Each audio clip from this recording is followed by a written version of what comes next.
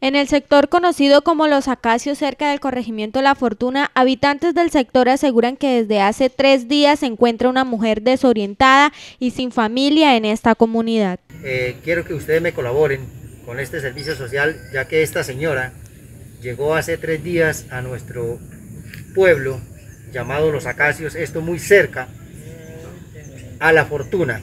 Esta señora lleva tres días deambulando en las calles.